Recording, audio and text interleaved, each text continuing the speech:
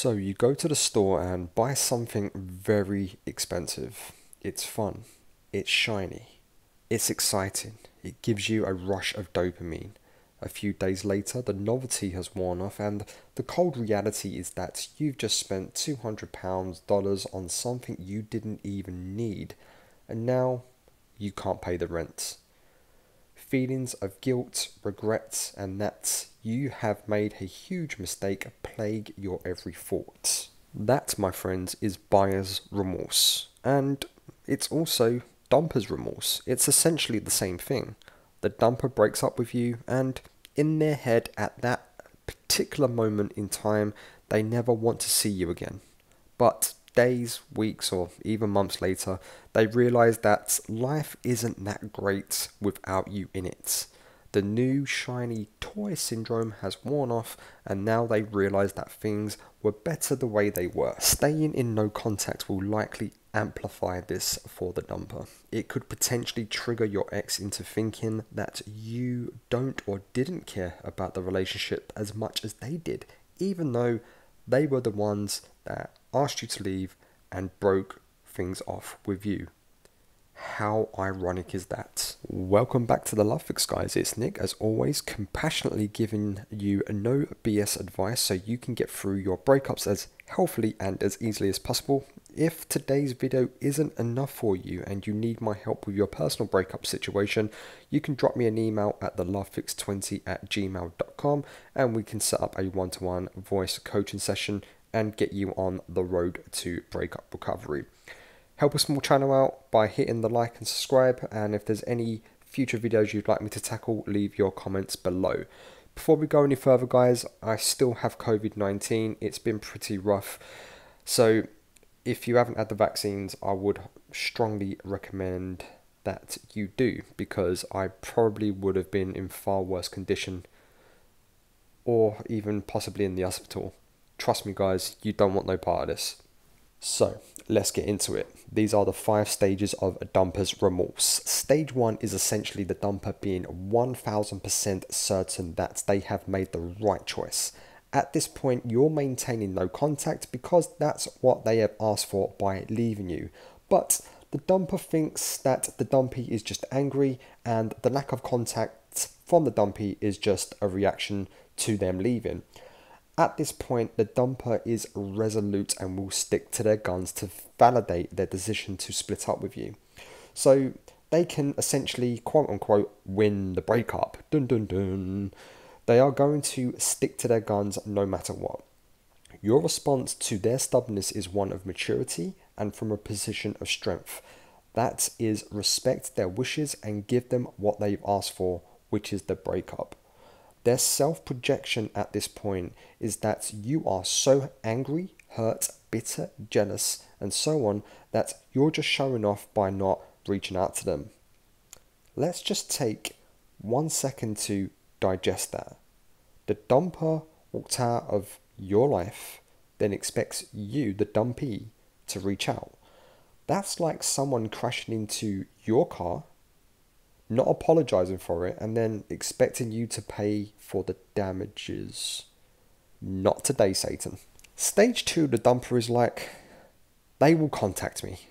They will calm down. After all, they think the world of me. They didn't want this breakup. It was their fault I dumped them anyway. I'm in the right here. And guys, while it may be true that you did some things your ex found to be unattractive to facilitate this breakup, they likely had a role to play as well. It takes two people to get together, and it takes two people to break up, barring any kind of abuse. They ended the relationship, they walked out, so they have to walk back in and initiate contact with you. The dumper is very much trying to validate and rationalize their decision. They're also trying to rationalize your reaction to them at this point, which has been one of silence. It's around about this time the dumper's inner voice starts speaking to them. Hey, don't worry. Once they miss you enough, they'll reach out. They didn't want the breakup, just remember that. They will call you. Uh, no. You know what?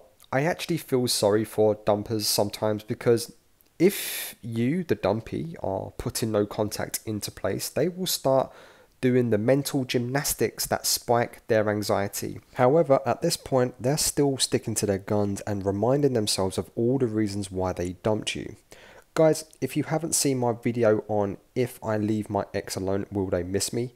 Pause it here, go check it out and come back, or you can wait to the end of the video and check it out. It will be appearing on your screen about now in the top right hand corner. Stage 3. Enter the anger and protection phase. Their fragile little ego is taking a beating from your silence and your indifference to them dumping you.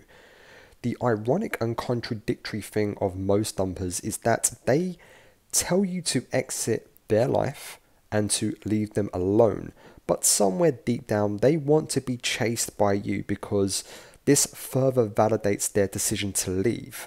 But if you treat them like a celebrity, they will only ever treat you like a fan. I have often speculated what the dumper's monologue would be around this time, and I think it goes something like this inside their heads. How dare they not contact me? Bastard! If we were still together, I would dump them for respecting my wishes to leave me alone. I secretly want them to validate my decision to leave, so why aren't they contacting to boost my ego? Did I mean nothing to them? I at least thought they would check in. Maybe I could contact them. No, absolutely not. I won't risk getting rejected. Please forgive the poor voice acting there. I've been drugged up and locked indoors for five days, and I think I've gone a bit mental. Swiftly moving on. I have news for you dumpers. There are consequences to your actions. Being on your own means exactly that. You no longer have access on any level to the dumpee. Enjoy and have fun with that. Essentially, the dumper is not getting their way at this point. Their anxiety is spiking and they start shitting all over the floor. And do you know who else shits all over the floor? Three year olds and dogs. So, if someone hasn't literally got their shit together, this is the kind of thing that's going to happen. Stage 4 Enter the dumper's fear and regrets. The dumper's inner voice starts to speak to them again. Only this time, the volume is turned up to 200%. Holy crap! They're moving on already. How are they handling this so well without me? I dumped them. They're the ones that should be hurt, not me. This is where the dumper begins to doubt their decision and where their ego is at the most fragile. As I said earlier, their decision has consequences. They get nostalgic and start remembering the good things about you, as opposed to stages 1 to 3 where they force themselves to focus on the negatives regarding your relationship. This is so they can validate their decision. They may even think you started to date because through the grapevine they've heard that you're doing okay and you're living life without them. Stage 5 I want a refund. I want to return my ridiculous purchase to the store and get my £200 dollars back. I need to pay rent. I need to pay bills. In fact, I'd be happier with the money. I don't need this shiny new thing anymore. In other words, single life or the rebound isn't as great as the dumper thought it would be. You, the dumpee, still haven't contacted them, which effectively removes their safety nets. They no longer feel safe or secure anymore because they believed you would reach out. Guys, your ex requested freedom from you. Give them all the freedom they can handle because absolute freedom on its own means absolutely nothing after a while we ultimately want to share our lives with someone. Before that happens, we will likely go through many breakups and experience a lot of pain. From that pain, we learn, we adapt, we improve, and we find someone on our level. In other words, both you and your partner have to have their shit together before things can work out for the long term. Give them the gift of mystery. Give them the gift of your silence and your indifference. The last time they saw you or heard from you was likely during the breakup talk, and at that point, you were showing interest and you wanted to save the relationship. This, in a strange way, validates them and puts them on a very high pedestal. Now, after a period of silence and no contact from you, you now appear that you're doing great and that you're okay with or without them. That is what will drive their remorse and anxiety up to 200%. Sometimes we have to let people experience what they think they wanted so they can discover they never wanted it in the first place. The only way to do that is to give them the breakup, respect their decision, and let them discover things on their own. To all the wonderful people of this channel and community, I will leave you with this last piece of advice.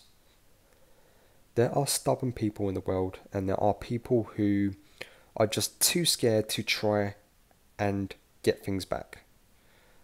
They will sooner live with regret for the rest of their lives before risking rejection themselves. Before you take that as validation to reach out to your ex, I want you to consider this. Do you really want to be with someone who is too scared or too stubborn to admit that they miss you, they made a mistake, and they regret losing you? What does that say about you and your self worth if you're willing to chase someone like that? This is not a judgment on you, and guys, I've been there many times years ago. It's merely me challenging you to go after something better, to level up. They walked out. That means they have to come and get you back. Especially if you said to them, if you change your mind, you let me know. This is not to be used as a weapon or manipulation, guys. If you reach out, or if they reach out for a reconciliation and that's what you want, meet up, have fun, reconnect, remind each other of the chemistry between you two. If all goes well over the first few dates, discuss how you can both do better going forward. Set your boundaries, set your values, and meet somewhere in the middle. Maybe you didn't have boundaries, maybe either of you didn't have boundaries before. But even if you do set boundaries, you have to negotiate and you have to be adaptable and you have to compromise. Relationships are about working together, not against each other, because if you start working against each other, it becomes you versus me rather than us versus the problem. Before you click off, check out my video on my stubborn ex, the dumpers mindset. It will be appearing on your screen in the top right corner about now. Until next time. I'll see you on the other side.